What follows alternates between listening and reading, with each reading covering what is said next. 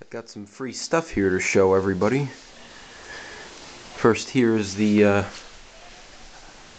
an old Gateway NLX desktop here. It's an E4400. It's an uh, NLX mid tower, uh, 550 megahertz Pentium 3. Works just fine.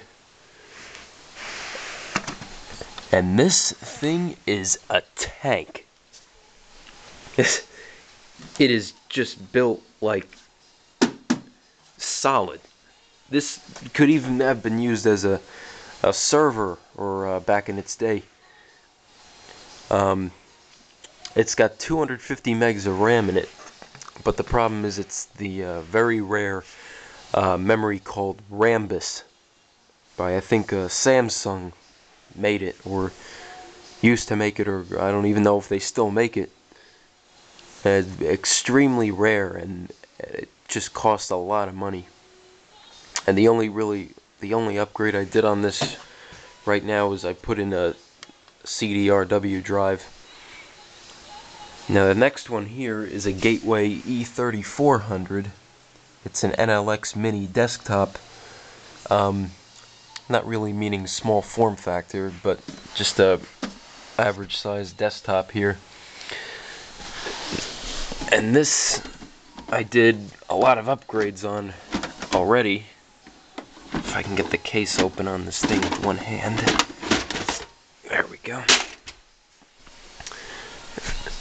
That's a 1.10 gigahertz Pentium 3 processor. At first I thought it was a lie when I saw it in the BIOS, say 1.10 gigahertz, but then I popped off the heatsink and sure enough it said 1100 megahertz on it, so it, it is indeed correct. Um, I also put 512 megs of RAM in, which I believe is maxed out in two DIMMs here. Um, has an ATI uh, Graphics Rage Pro 16 megabyte video card. I added a USB 2.0 card because it has onboard USB, but it's still only uh, original USB 1.0 or 1.1, which is too slow to hook up anything like a camcorder or um, a memory stick or and I also added and up um, it also it has onboard sound, but it's not really that great. It's uh, Intel integrated audio. So I just pulled out my Creative Sound Blaster from my old Dell that I have, and I just popped it in here. That's, I believe, the original hard drive to it. You just pull off this ring here, and it hard drive pops right out. It's a Maxtor Fireball, which are supposedly notorious for crashing a lot, but this one seems to be working fine. Um, I also had to add a CD-ROM drive because this one did not come with one. Um, it already had the floppy drive built in. And if I didn't know any better, I'd say that this motherboard is brand spanking new it just, I mean, it was dusty when I first got this thing, but it's just immaculate. It looks brand new, like it was just manufactured. And this computer runs Windows XP flawlessly. I already have this running uh, XP and a couple of programs installed on the hard drive, which I'll make a separate video of.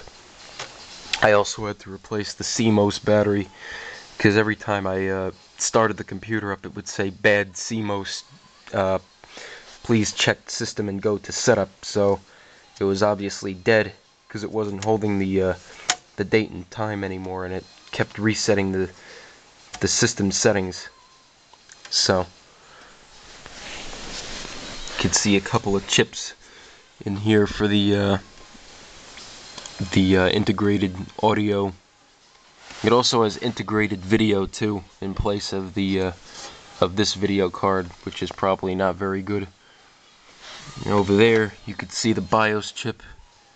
It says AMI BIOS, also known as American Mega Megatrends Incorporated. Um, and that's uh, basically it. The computer is, like a lot of these, it's very noisy when turned on because of all the fans in it. It's got one fan, big fan over there for uh, uh, an intake air and the the uh, regular CPU fan.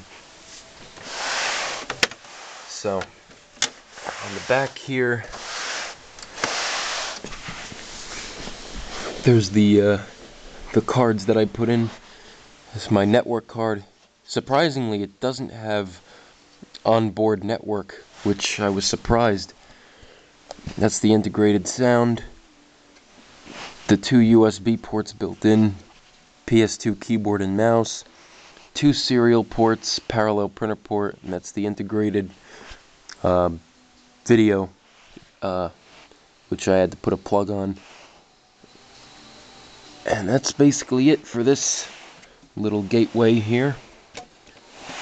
This would be good to have as like a a backup or secondary computer because it's uh, still pretty powerful to do uh, some useful things such as YouTube with its um, fast 1.10 gigahertz processor.